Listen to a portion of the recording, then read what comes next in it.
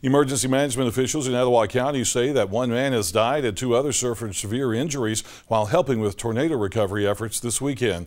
The EMA says that the fatality occurred when a volunteer helping with debris removal suffered a heart attack. Two other men reportedly fell off of roofs. One of those men has a severe head injury and the other was diagnosed with a concussion.